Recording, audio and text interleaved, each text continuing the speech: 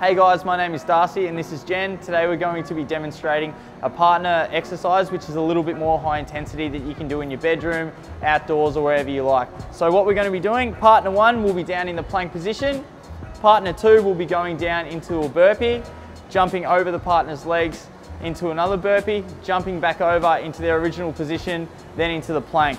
Then their partner will jump up, jump over their legs into a burpee, back on over into another burpee and then down into the plank. So we want to be repeating this about 10 times for about three sets.